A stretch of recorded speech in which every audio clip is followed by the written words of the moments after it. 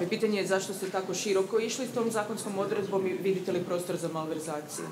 Ne vidimo prostor za malverzacije, pa radi se jednostavno o tome da smo smatrali da bi primarni cilj trebao biti stavljanje nekretnina u funkciju. Ako je nekretnina u funkciji stambenoga najma ili netko živi u toj nekretnini, smatrali smo da nema potrebe da se za takvu nekretninu plaća porez na nekretnine i to smo također detaljno pojasnili. A što se tiče oporezivanja dohotka, smatramo također da nije logično ni normalno da ukoliko ne znam dijete živi u kući ili u nekretnini svojih roditelja ili neka slično povezana osoba da se također tu utvrđuje porez na dohodak.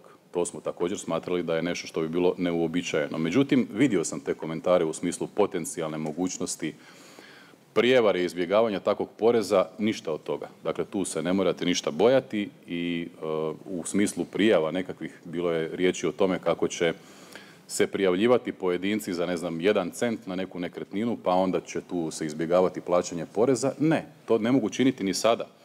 Vi sada kada nekretninu iznajmite dugoročno, ta nekretnina ima svoju tržišnu vrijednost, dakle njen najam se utvrđuje tržišno. Porezna uprava ima te podatke, Ministarstvo financija, na temelju tablica koje su toliko detaljno razrađene da de facto u pojedinim duljim ulicama imate do određenog kućnog broja jednu utvrđenu cijenu najma, a nakon toga drugu.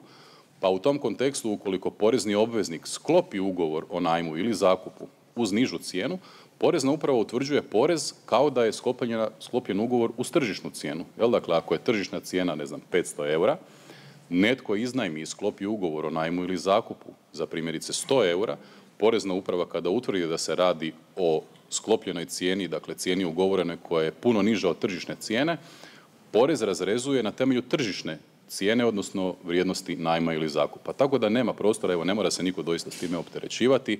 Mi ćemo naravno i dalje unapređivati sve svoje analitičke alate. Znate da uskoro će funkcionalan biti i registar stanovništva, tu ćemo imati još detaljnije analize i ne mora se niko brinuti da će postojati bilo kakav prostor za malverzaciju u tom smislu.